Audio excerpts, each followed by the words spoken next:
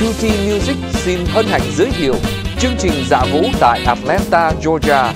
Mời quý vị đến với Eho North vào ngày thứ Bảy 19 tháng 6, chương trình từ 8 giờ tối đến 2 giờ sáng để thưởng thức một chương trình ca nhạc dạ vũ sống động đón chào mùa hè với sự góp mặt của các ca sĩ